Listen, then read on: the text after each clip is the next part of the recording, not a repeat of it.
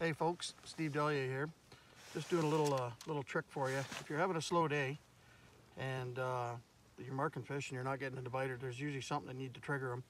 So the best way to do it is just to do a little just to do a little swap out. So what we're going to do here today is we're going to take one of these VMC bladed hybrids with a spinner on it. What I recommend you do is you take take your treble hook if you want to make it easy on, especially for guys like me that need glasses most of the time. Get the hook started off the off the split ring. Get the other one started. Do it over top of the pail so you don't lose your treble hook.